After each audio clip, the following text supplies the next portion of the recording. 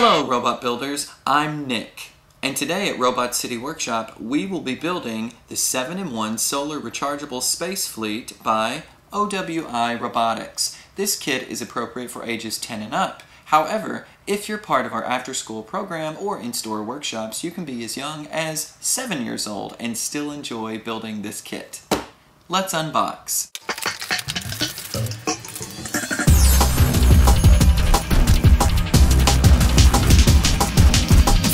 In this instructional video, we will be building a number of different modules and parts before completing our actual robot. So let's get started. During this build, some tools that you may need will include diagonal cutters and a pair of scissors. Take your diagonal cutters and remove parts B16 and B9 from the molding. Once you have those two pieces, just give them another look-see to make sure that you've removed all burrs. This is just a good habit to develop for any build. Now take the two pieces, slide part B9 over B16, and your landing gear is complete. Now we're going to assemble the front wheel. Take your diagonal cutters and remove parts A10 from the molding. You'll need two of these. Now find part P14, which looks like this, and remove the center and set that aside for now so that you can create the outer ring of your wheel. Repeat this process. Now find part P8, which is your round shaft. Attach a wheel on either side, and the front wheel is complete. Now we're going to assemble our solar module. For that, you'll need three pieces of the included double-sided tape, your solar panel, and part B10. You'll notice three small rectangles. Place the provided double-sided tape on said rectangles, and then insert the wire from the solar panel through the large opening of part B10. Move the remaining paper from the double-sided tape to reveal the adhesive.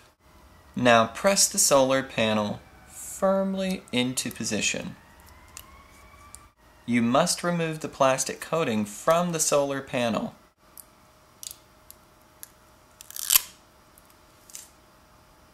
And now your solar module is complete. Now we're going to assemble our battery module. Take your battery pack and go ahead and insert the two AAA batteries. Now find part B7. Now find part A7. Remember the insides from our wheels that I asked you to set aside earlier. We're going to need both of those and one more. Take part A7 and place those into the three rectangles so that it looks like this. And come back to part B7. Take our battery pack and insert it so the batteries are facing downward, taking care to thread the wires through this small groove. Now we're going to attach A7 so that it holds our battery pack in place. Now we're going to set that aside and find parts B17 and B18. Once you have them, you're going to attach them to either side at the end of your wires. Now we're just going to secure that in place and your battery module is complete. Now we're going to assemble our upper gearbox. For the first step, you're simply going to take part P9 and attach the tiny pinion gear to the end of the shaft so that the shaft doesn't extend beyond the pinion gear.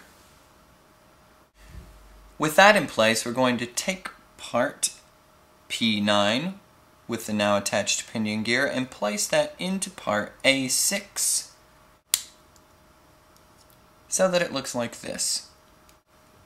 Step 1 complete. For step 2 of the gearbox, we're just going to get our motor into position, taking care to thread the wires through this small groove before pushing our motor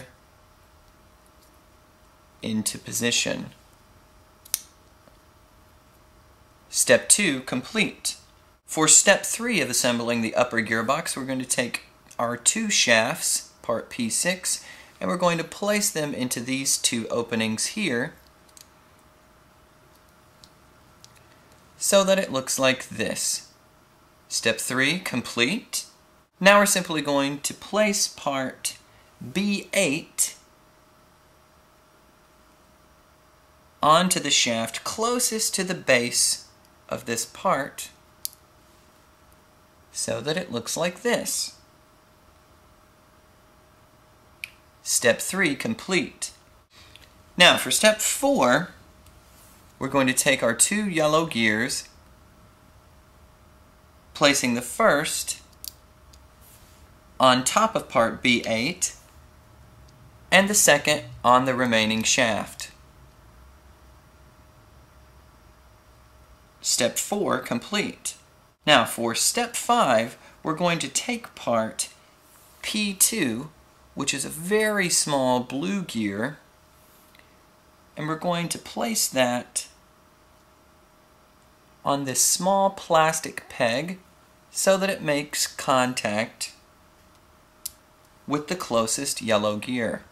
Now we're going to take part P4 and slide that into the little opening beside of our blue gear so that it looks like this. Step 5 complete. And now for step 6. You're going to find part A2 and close up your gearbox. Step 6 complete. Now for step 7 of the gearbox assembly, you're going to go back to this plastic molding and remove the two remaining wheels, parts A10, and go ahead and grab that last needed piece of foam for the outside of each tire and attach those on either side of the shaft protruding from the gearbox. And now your upper gearbox is complete. Now, if you want to test out your gearbox, simply take your assembled battery module and attach the two pieces together and we can see that it works. Works a little too well. Here we're going to assemble our lower gearbox. For this, we're going to need parts B12, parts B14, B15 are hexagonal shaft, as well as parts A8 and A9. For step 1, let's simply take our hexagonal shaft P7, take part B15 and place it on the shaft.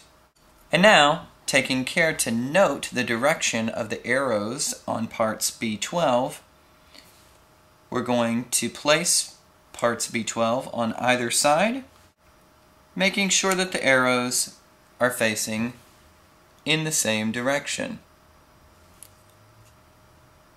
Step 1, complete.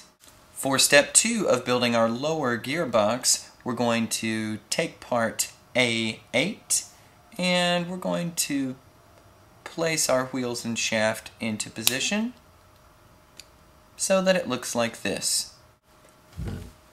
Step 2 complete. For step three, we're going to take part B14 and our last remaining small shaft and simply pop this into position on top so that it looks like this. Step 3 complete. Before we finish the lower gearbox, I cannot stress enough how important it is to make certain there are no burrs on any pieces, burrs being the small pieces of plastic that remain on pieces once you cut it free from the molding. In other words, make sure that all of the surfaces are smooth. And for the last step, we're going to take part A9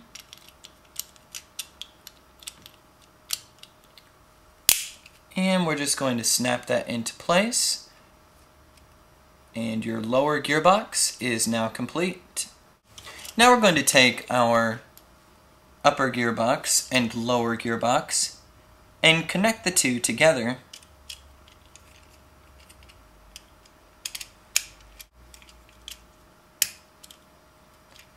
so that they look like this. Now, if we want to test out our combined gearboxes, let's simply bring in our battery module and test it out. And we see that the two function properly together. And now, with both of our gearboxes complete and tested, we can choose any of the seven models from the Solar Rechargeable 7-in-1 Space Fleet by OWI Robotics to build. I'm going to disassemble our gearbox as I've chosen to build the Space Rover which requires the upper gearbox. So let's get started with our Space Rover. To assemble the Space Rover, you need your upper gearbox, parts B11, B13, and the front wheel. For step one, you're simply going to take part B13 and attach that to the front of your upper gearbox so that it looks like this. Now we're going to take our front wheel and snap that into position on part B11 and attach those two parts together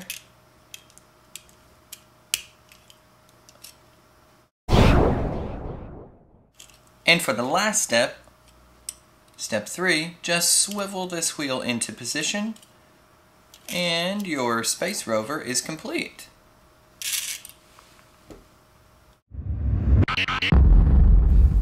Now, for your power source, you're going to take your battery module and your micro rechargeable battery and attach the two for 5 seconds. Now that we have our power source charged, simply attach the battery to the top of the robot. Remember, if you liked this video, click the thumbs up button and subscribe for future instructional videos. And if you'd like to see one of the other models built from the 7-in-1 Solar Rechargeable Space Fleet by OWI Robotics, simply leave a comment down below. And have fun building!